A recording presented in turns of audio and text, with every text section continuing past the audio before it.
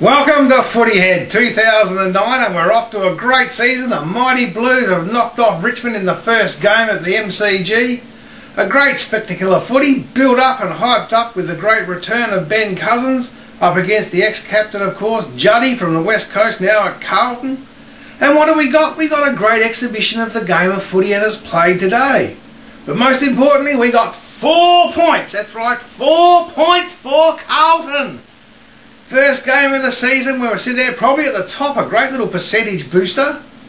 Great to see Fev have a game and no hair as well. Must have made him go a bit faster. Little Eddie come up with a handy five goals there for the Carlton Blues and keep him on the board. Waite wandered down there following Mr. Richardson and managed to nick himself a goal as well. We've got a good little side there building up, Carlton. Great running game of footy, great backing up, great support. Good skills, better skills than Richmond, which made the difference in the day because there's an awful lot of turnovers by Richmond under the pressure. And that was important to see. Under pressure, a big hyped up game, and Carlton delivered the goods, which is very important come finals time. Oh yeah, we know it's the first game of the season, keep a lid on it, keep a lid on it. No. It's about September action. We've been waiting for it for a long time. Here we meet.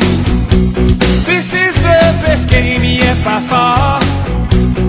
Shout out wherever you are. The grand final, watching the mighty men play. The grand final, it's the Australian way. The grand final, shouting and having your say. The grand final, who'll take the flag home today? Yeah. You'll be seeing more of Footyhead's happy dances this year, I think, on this display we saw last night. So all we can say is round one's out of the way now for Carlton. 2009, the season started. Go you Blues!